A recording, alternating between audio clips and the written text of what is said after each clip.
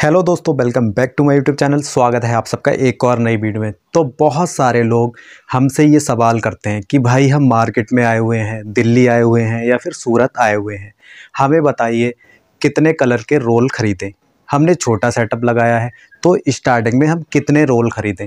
तो step by step आपको बताएँगे कि कम से कम आपको स्टार्टिंग में कितने कलर के रोल ख़रीदने चाहिए, यानी कितने रोल लेने चाहिए एक वैरायटी में। क्योंकि स्टार्टिंग में लोगों को समझ में आता ही नहीं है कि भाई दो कलर ख़रीदें, चार कलर ख़रीदें या फिर छः कलर ख़रीदें।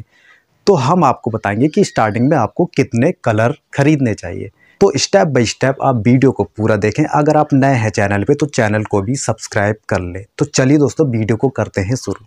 देखिए स्टार्टिंग में जब आप नया सेटअप लगाएँगे और आप मार्केट जाएँगे फैब्रिक ख़रीदने तो आप कंफ्यूज हो जाएँगे कि मैं कौन कौन से कलर ख़रीदूँ और कम से कम कितने रोल ख़रीदूँ। इसका एक तरीका तो ये है, आप जहाँ पे माल बेचेंगे, जिन दुकानों पे आप माल बेचेंगे होलसेलरों को, आप उनसे पता कर सकते हैं कि उनके पास कौन कौन सा कलर चल रहा है और कितने कलर उनके पास चल जाएँगे, ठीक है? ये आप पता करके भी माल ख़रीद सकते हैं, उसके हिसाब से आप कलर ले सकते हैं।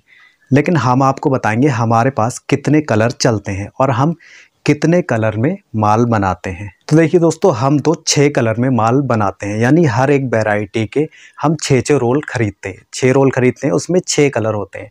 छः कलर इसलिए हम लेते हैं क्योंकि हमें इस तरीके का छः का सेट बनाना होता है। ये देखिए, इस तरीके की हम मास्टर पैकिंग करते हैं और इस एक पैकेट में हमारे छः पीस आ जाते हैं, ठीक है? इसलिए हम छः कलर ख़रीदते हैं, यानी एक वेराइटी का जब हम फैब्रिक ख़रीदते हैं तो कम से कम उसके छः कलर लेते हैं। अगर आपका भी बजट ठीक ठाक है तो इसी हिसाब से आप भी एक वैरायटी के छः छः रोल ख़रीद सकते हैं। उसमें छः कलर आपके आ जाएँगे और ब्लैक नेवी तो सभी में चलेगा, ठीक है? बाकी आप अपने हिसाब से सिलेक्टेड कलर ख़रीद सकते हैं। तो छः कलर तो आप ख़रीदें ही खरीदें, अगर आपका बजट सही है तो। लेकिन बहुत सारे लोगों का बजट कम होता है। वो सोचते हैं, भाई छः रोल तो हम नहीं ख़रीद पाएँगे, क्योंकि छः रोल हमें पड़ रहे हैं तीस हज़ार रुपये के। ठीक है, इसी तरीके से उन्हें और भी वैरायटी के फैब्रिक ख़रीदने होते हैं।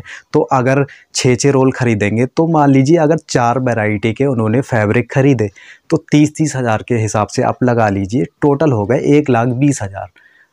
तो चौबीस रोल पड़ेंगे एक लाख बीस हज़ार के। लेकिन उनका बजट इतना नहीं हो पाता है, एक लाख बीस हज़ार रुपये तो देखिए दोस्तों, आप चार चार कलर भी ले सकते हैं।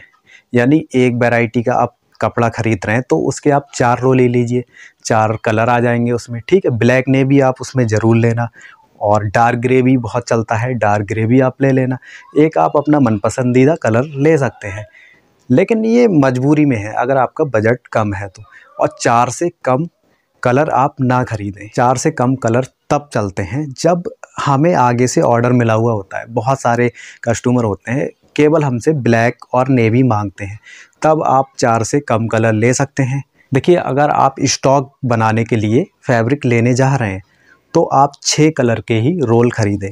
अगर छः कलर के लिए आपके पास पैसे नहीं हो पा रहे हैं तो दोस्तों आप चार कलर भी ख़रीद सकते हैं। इससे कम ना खरीदें, क्योंकि बहुत सारे कस्टमर होते हैं, वो छः छः कलर ही मांगते हैं।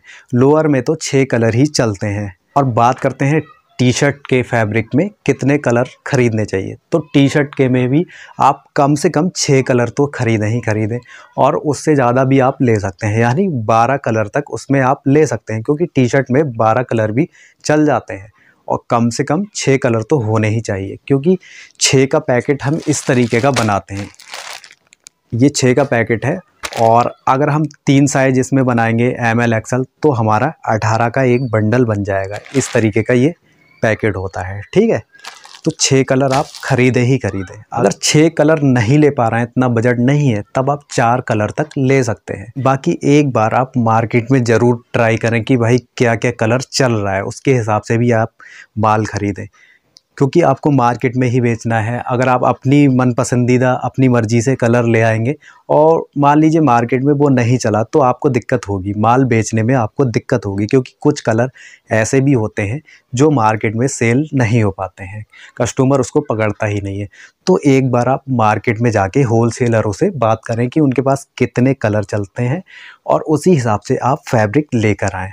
तो जैसा कि मैंने आपको बताया था कि एक रोल हमें पड़ता है करीब पाँच हज़ार रुपये का, पाँच से छः हज़ार रुपये तक हो जाता है। वो क्वालिटी के हिसाब से रहता है कि कपड़े की क्वालिटी क्या है, कितना महँगा कपड़ा है या कितना सस्ता कपड़ा है।